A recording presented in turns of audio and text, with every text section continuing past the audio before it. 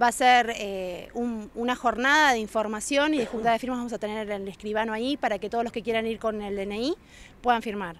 Eh, los ciudadanos que pueden participar son todos, pero los que pueden firmar eh, son los que estuvieron en el padrón del 2015, o sea, extranjeros que hayan votado, em, mayores de 18 o de 16 a 18 que hayan estado en el padrón, todos la ellos... elección comunal del 2015. Exacto, en elección comunal. La iniciativa, la propuesta es eh, prohibir la entrega de tierras eh, y un llamado de licitación con los pasos administrativos correspondientes para que dar un poco de transparencia a este proceso que fue tan turbio desde que se arrancó.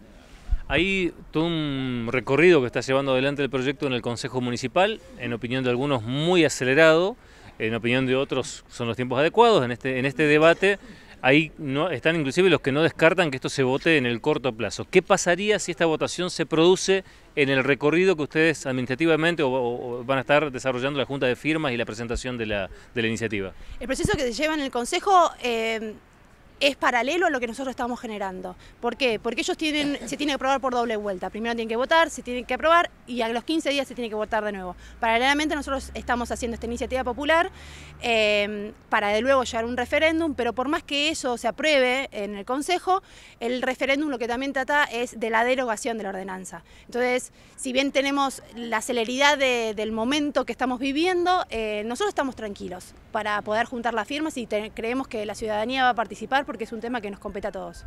Luis Rossi, eh, ¿hay este, un conocimiento o está formando parte del tema catedral del debate cotidiano hoy en, San Carlos de Bariloche, a pesar de los apuros, a pesar de cómo se ha difundido y, demás? O sea, la, gente, ustedes entienden, está interesada en participar. Sí, la, gente tiene mucho interés en participar porque yo creo que justamente lo que se ve es que este apuro, este siempre que nos han apurado es para, para meternos el perro.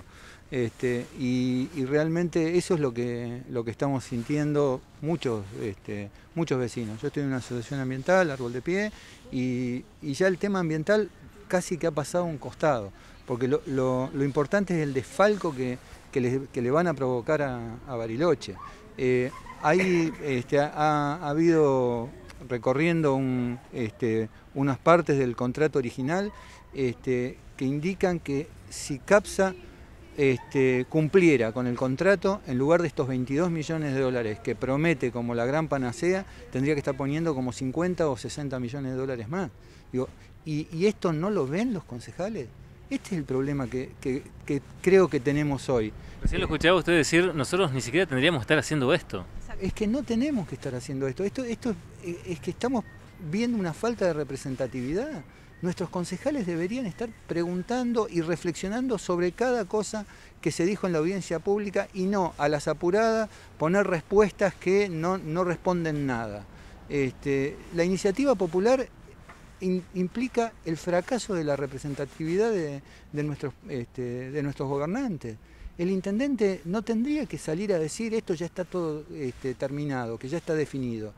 Porque si, si muchos vecinos estamos diciéndole que hay algo que está mal. Tienen que sentarse, parar la pelota, reflexionar, volver a hablar con todos. Hay abogados, hay arquitectos, hay este, biólogos, hay, hay mucha gente que sabe mucho del tema que no está siendo tomada en cuenta. Andrea Galaverna, eh, ¿usted considera que están dadas las condiciones a partir de la celeridad y la intensidad que ha tomado el debate sobre el tema para que nadie se oponga a que la gente se exprese en una medida como la que están proponiendo?